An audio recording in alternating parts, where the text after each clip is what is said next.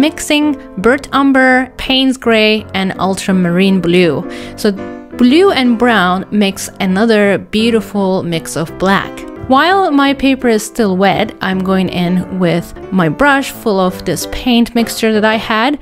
And once it dries, I'm doing wet on dry method. This time my brush is damp and my paper is dry. I'm giving all these dark final black details. This is very useful.